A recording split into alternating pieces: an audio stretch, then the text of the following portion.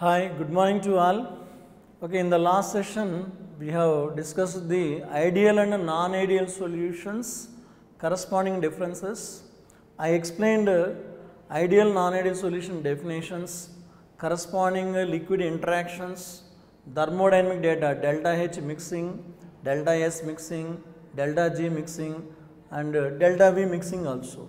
Okay, graphical representations for ideal solution, positive deviation solution and a negative deviation solution.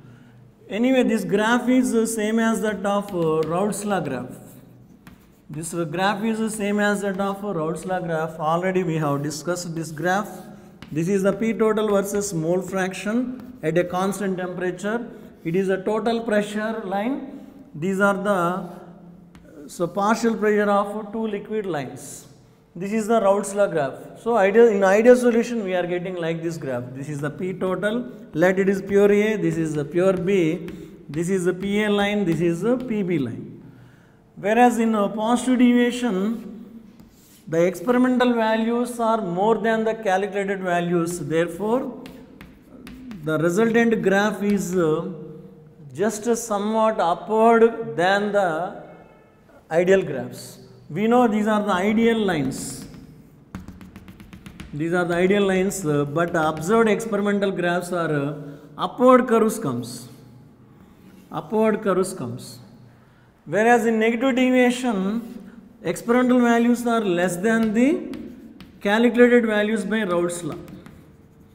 That's why if you see this graph, uh, comparatively ideal values these are the dotted lines are the ideal values. Uh, comparatively ideal values uh, the observed values are uh, less values means downward curves comes. So this is the graphical representation for ideal solution. It is for positive deviation. This is for negative deviation. Next uh, in ideal solution so both a and b have the same shape and uh, sizes. Nearly similar shape and sizes there by nearly similar shape and sizes uh, they behaves uh, almost uh, so both are the same aspect. That's why ideal solution will be formed. But these shape and size are different. Here also shape and size are different that's why they are not forming ideal solutions. And in every case some examples there Actually, examples also easily understand by using uh, different type of molecular interactions. We know molecular interactions, uh, ion-ion interaction, ion-dipole interaction, dipole-dipole interaction, dipole-induced dipole interactions, induced dipole-induced dipole that is a London dispersal forces. Uh, by using those forces, we can understand. And also in thermochemistry, we have studied heat of neutralization. We know heat of neutralization is always exothermic. In any mixing delta Hs, delta Hs that is delta H mixing is negative default that is negative deviation mixture. Suppose in any mixing uh, delta H mixing is positive we can say that is a as endothermic uh, positive deviation solution. Anyway examples of ideal, non-ideal and uh, non-ideal positive negative deviations identified by using heat of neutralization delta H is sign concept from thermochemistry or we can apply different type of molecular interactions and corresponding delta H is sign or sometimes we can apply hydrogen bonding concept also. Whenever hydrogen bonding there by hydrogen bonding also stability will be increased. When stability increases what happened heat will be released that becomes uh, delta H negative there we can say that is a negative deviation. See different examples uh, for ideal solutions. For ideal solutions anyway actually there are no ideal solutions but some combinations nearly behaves as a ideal solution. Those are best example benzene and toluene. This is the best example for ideal solution or carbon tetrachloride, silicon tetrachloride, N-hexane and N-heptane N-hexane and N-heptane mixture. This also one of the best example for ideal solution. Next ethyl bromide and ethyl iodide. Like this uh, we can take uh, different combinations for ideal solution. Okay, these are nearly behaves as ideal solution. positive deviation. Positive deviation means the heat must be absorbed during that mixing. Here best example for uh, water if you add ethyl alcohol. See this, ethyl water has hydrogen bonding, even uh, ethyl alcohol also having hydrogen bonding and in between these two also having hydrogen bonding. Okay, these combinations simply explained by hydrogen bonding. Individually water has hydrogen bonding among water molecules. Ethyl alcohols also having hydrogen bonding among ethyl alcohol molecule. Between water and ethyl alcohol also hydrogen bonding there. So these individual hydrogen bondings are stronger than combined hydrogen bonding.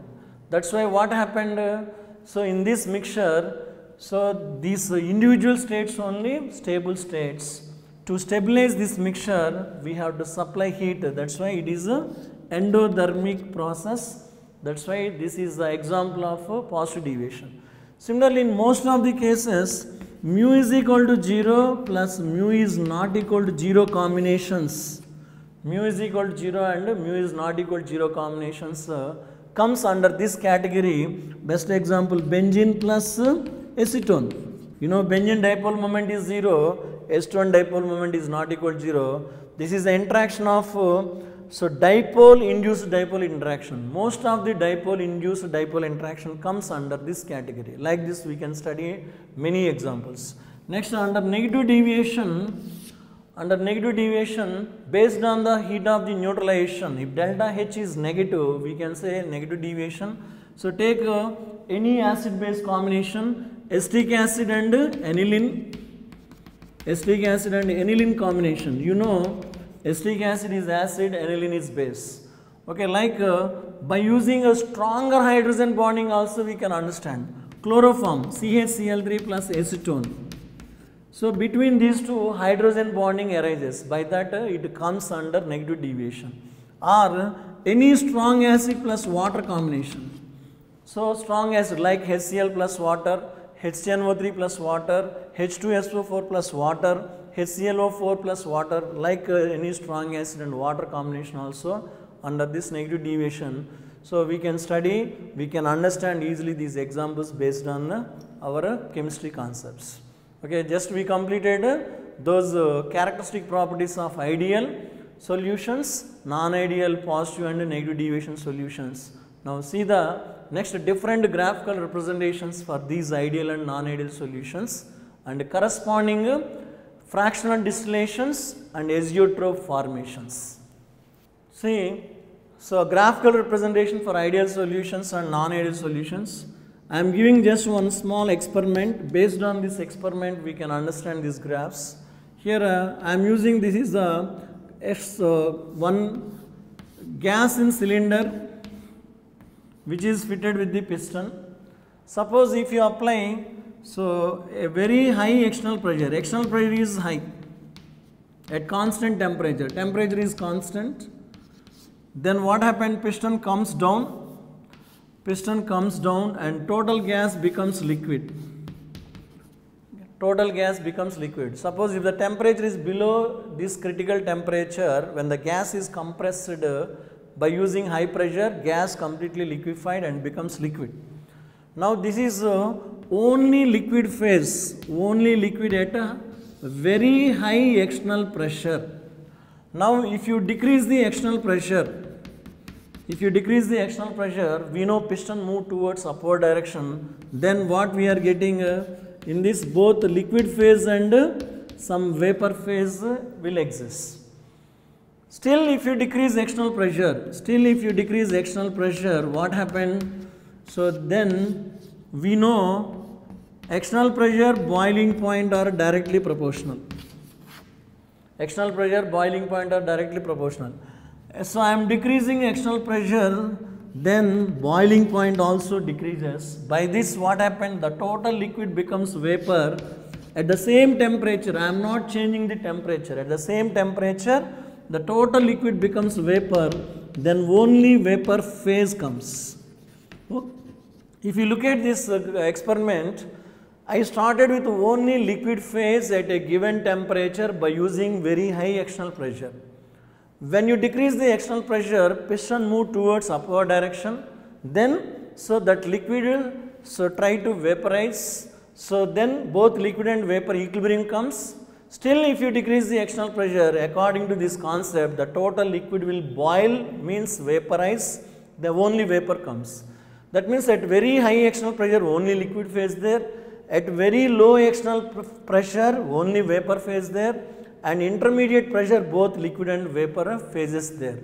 Based on this concept, uh, we can understand all graphical representations of uh, ideal and non-ideal solutions. See this uh, ideal and non-ideal solution graph. Ideal solution graphs. Ideal solution graphs. Actually, we know this is a graphical representation. This is a, at constant temperature, P external versus this is P total versus mole fraction graph. I am drawing only total pressure graphs. I am not drawing individual uh, partial pressures. Those are vapor pressures of P and PB. Just it is P total. So, if you apply previous uh, experiment uh, information at constant temperature, if you have use very high external pressure, which phase there? Only liquid phase there. At very low external pressure, this is uh, pressure axis. This is very low external pressure region. Low pressure region, then vapor phase exists vapor phase exists. But we know at intermediate external pressure both liquid and vapor phase exists. That's why this graph is not uh, original graph. If you resolve this graph, I am giving a resolved graphical representations for ideal solution. Actually, we drawn this straight line in ideal solution case, but here I am uh, so giving a resolved plot. So this is the external pressure at a given constant temperature this straight line become as uh, two curves. Two curves almost uh, this becomes like this uh, for this straight line there is uh, like this uh, vapor phase uh, connectivity there. At the high external pressure liquid phase there. At low external pressure vapor phase there. At intermediate pressure both liquid and vapor phase there so this is ideal solution result plot. If you convert these graphs into temperature versus mole fractions, so at constant external pressure, I am drawing this graph uh, at constant external pressure, temperature versus mole fraction. So you know this information, boiling point uh, vapor pressure are inversely proportional to one another. Boiling point and vapor pressure are inversely proportional to one another. Suppose low vapor pressure there, high boiling point is there. High vapor pressure there, low boiling point is there. For straight line, straight line only comes. Simply, I am converting this uh, pressure versus mole fraction graph into temperature versus mole fraction graph. So here low boiling point, sorry, low vapor pressure, high boiling point. High vapor pressure, low boiling point. Straight line, straight line and these two inversely proportional means uh, these two phases also becomes volta. We know at high pressure this is low pressure zone, this is high pressure zone. At low pressure which will exist uh, liquid phase exists. So when you raise the temperature liquid will becoming as vapor at high temperature vapor phase exists. So I converted this pressure versus mole fraction graph into temperature versus mole fraction graph. This graph is at constant uh, temperature whereas this graph is at constant pressure, external pressure. For this graph there is a result plot. Similarly, for this graph also there is a result plot.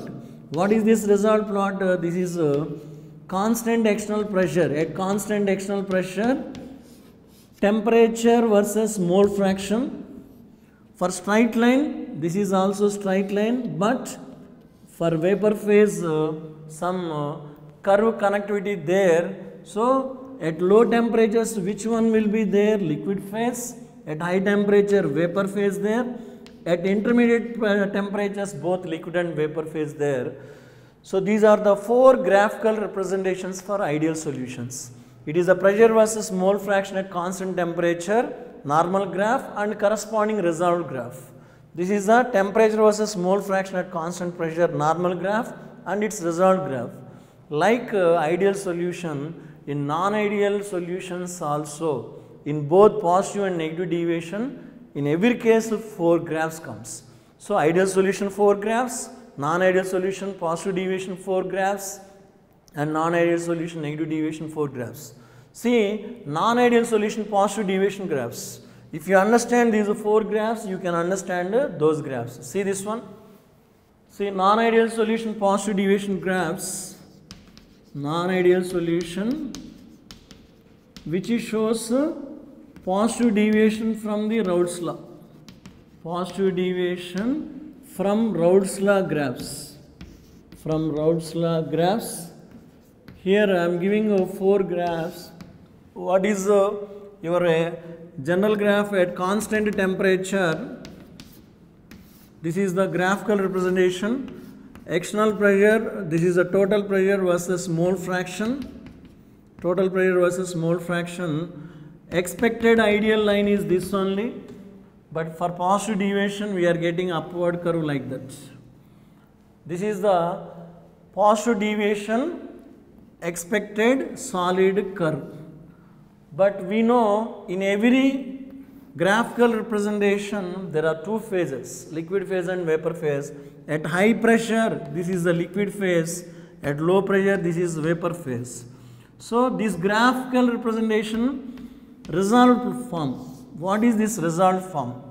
Here with respect to this maxima point, in this curve somewhere maxima point there, with respect to maxima point divide as two straight lines indirectly and you know in resolved plot every line becomes a combination of two curves.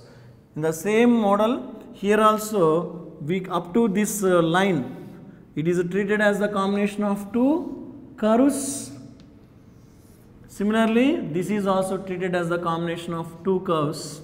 Like this, uh, we are getting uh, this one. This is at constant temperature, pressure versus mole fraction graph. So, you know at high pressure liquid phase there, at low pressure vapor phase there. So, this point is a common point for both uh, liquid and vapor phase. This point is a common point for both liquid and vapor phase. Similarly, if you draw temperature versus mole fraction graphs. So, temperature versus mole fraction graphs at constant external pressure. This is a temperature versus mole fraction graph. So, you know for a straight line, your expected straight line is this, you know, this is a pure A, this is pure B. Low vapor pressure, high boiling point, high vapor pressure, low boiling point. So, low boiling point in this curve this is the highest point. You know vapor pressure boiling point are inversely proportional according to this point if it is highest you are getting lowest like this. This is a lower point therefore higher point. This is a higher point this is a lower point. It is highest point it is the lowest point for straight line uh, here also expected is a straight line uh, but in this graph we are getting upward curve therefore there we are getting a downward curve like this. So these two graphs are the same only. This is the pressure versus mole fraction at constant temperature whereas this is uh, temperature versus mole fraction at constant pressure. Now similarly for this also result plot there. What is this result plot? Uh, so temperature versus mole fraction at constant external pressure, if you look at this one, here every with respect to this minima point, consider two lines. In result plot, every line will be split into two lines. Then the graphical representation comes like this, this one and this one. You know at low temperature liquid phase there, at high temperature vapor phase there, in between both liquid and vapor phase there, this is the common point for both liquid and vapor phase. Now it has some importance. These are the four graphical representations for a so positive deviation. In the similar manner, we can draw four graphical representation for negative deviation. So in this uh, positive and negative deviation as well as uh, ideal solutions, by using these uh, temperature versus mole fraction graphs. By using these temperature versus mole fraction graphs, we can understand uh, separation of uh, these liquid in liquid solution by using fractional distillations. See that? Okay, fractional distillation of uh, fractional distillation of distillation for separation of uh, so ideal solutions and non-ideal solutions. Fraction distillation for the separation of ideal solutions and non-ideal solutions. To understand this fraction distillation, first see the difference between normal distillation and fraction distillation. What is a normal distillation? In normal distillation, there is a round bottom flask. This is the round bottom flask which is connected to so connecting adapter. Then it is connected to water condenser. It is connected to water condenser. Then finally it is connected to receiving adapter and where distillate will be collected. So if you look at this arrangement, it is a Bunsen burner. Bunsen burner. So this is RB flask. It is a stand. Okay, in a round bottom flask, in RB flask, round bottom flask, we are taking uh, one liquid. One liquid. So this is impure liquid. What is the distillation purpose? Distillation is used to distillation used to find one is a purify impure liquid second one to find boiling point boiling point of the liquid then to separate uh, separate uh, so liquid liquid mixture liquid liquid mixture when the boiling point difference delta boiling point greater than 40 degrees centigrade so normal distillation is used to so purify the given impure liquids to find the boiling point of the liquids and then to separate liquid and liquid mixture. Here uh, we are using one separate bowl with concentrated sulfuric acid. There we are using some thermometer. This is thermometer. Okay, in RB flask take the impure liquid. When it is heated, what happened? Uh, vapors coming and continuously touches this uh, constant sulfuric acid bowl. Then temperature of this thermometer increases, increases and somewhere it becomes constant. This thermometer reading is the boiling point of the liquid. Then these are passed through the water condenser. This is the water condenser. In water condenser, what happened? So this is water inlet, this is water outlet so these vapors are coming and continuously cooled. So by passage of this water, here water coming and going outside, then all vapors will be cooled. Finally distillate comes. Then this is the distillate. Distillate. This distillate is nothing but a pure liquid. This distillate is pure liquid. In this left one is what we have taken impure liquid. The left one is called residue. So when impure organic liquid is subjected to distillation by raising the temperature, so vaporization takes place at a definite temperature. These vapors continuously touches the constant sulfuric acid bowl, which temperature raises and becomes constant. That is the boiling point of the liquid. Then these vapors are then allowed to condense by using water condenser. Finally distillate comes. In this distillate, uh, the coming liquid is a pure liquid. That means in this impurities must be non-volatile impurities. Non-volatile impurities, uh, these non-volatile impurities uh, left in the RB flask, whatever the left liquid in RB flask is called residue. So the coming distillate is a pure organic liquid. Already we found this boiling point of the liquid.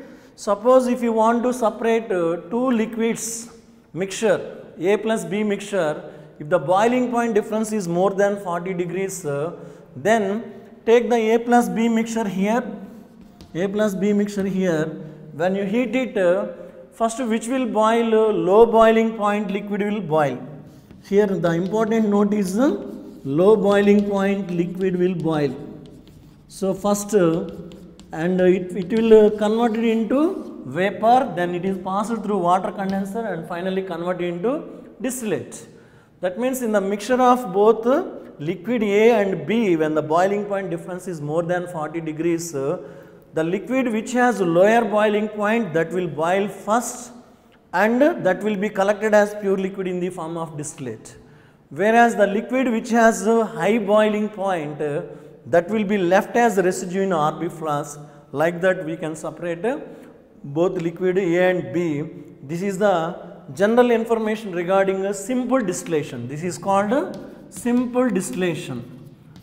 So, what is the purpose? It is used to purify liquid, to find the boiling point and to separate the mixture of two liquids when the boiling point difference is more than 40 degrees. Suppose if the boiling point difference is greater less than 40 degrees, that means they are having closer boiling points, then how to separate those liquids? Such liquids are separated by using fractional distillation. So, that fractional distillation only will be used to separate our ideal and non-ideal solutions. I will discuss uh, that fractional distillation in the next session.